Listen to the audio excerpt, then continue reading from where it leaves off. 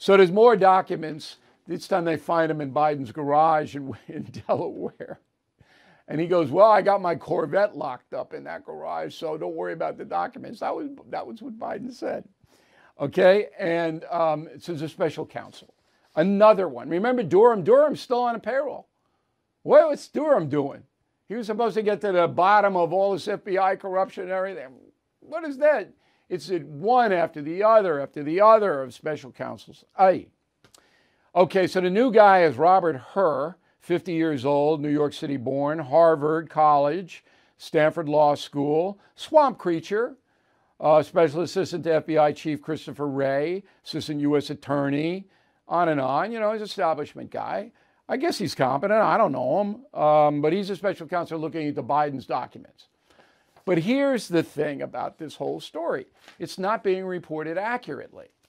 Or is it? All presidents wind up with classified documents in their offices, private offices, after they leave um, the White House.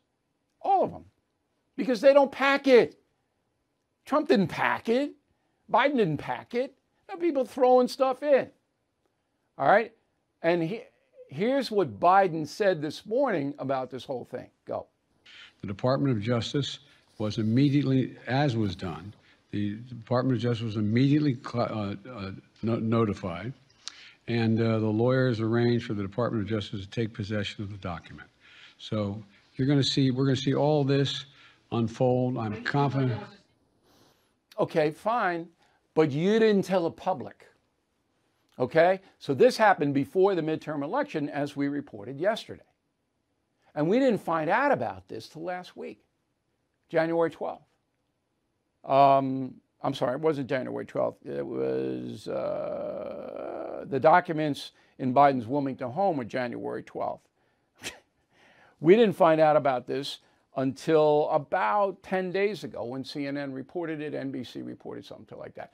So for a solid two months, the Biden administration kept it quiet. Covered it up? Sure. Sure. So Joe Biden said, oh, we immediately told the Department of Justice and the documents, and you didn't tell us. You work for us. You didn't tell us because you didn't want that out before the midterm vote. And that's why. That's the story. The cover up. The old cliche, it's not the crime, it's the cover up. Here you go. Now, Donald Trump's got to be the luckiest guy in the world, right? All this Mar-a-Lago document stuff, bye, gone. Because you can't do anything to Trump unless you do the same thing to Biden. It doesn't matter how many. It doesn't matter how many. It's the same thing. So there's Trump going, okay, I dodged another one. And he did. So in the end, nothing is going to happen on the document front. Nothing's going to happen to Trump. Nothing's going to happen to Biden. But the left wingers in this country, they're desperate now to save Biden's reputation. Because remember, Biden was hard on Trump. Biden pounded Trump for this document stuff.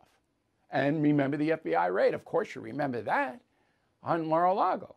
I mean, it was totally, I said it at the time, didn't have to happen. That was ridiculous. It was absurd that happened. Inflation at its highest level in 40 years, interest rates skyrocketing, we all know that.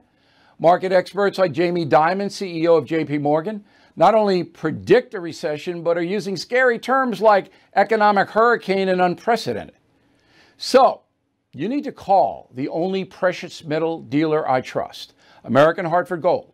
They will show you how to protect your savings and retirement accounts by diversifying your portfolio with physical gold and silver. Please call them today and they will have physical gold and silver delivered right to your door or put inside your IRA or 401k. They have thousands of satisfied customers, are the highest rated firm in the country with an A plus rating from the Better Business Bureau. Tell them Bill O'Reilly sent you, and they'll give you up to $2,500 of free silver on your first order. Please call 866 501 5201. 866 501 5201 or text Bill to 65532. Again, 866 501 5201 or text Bill to 65532.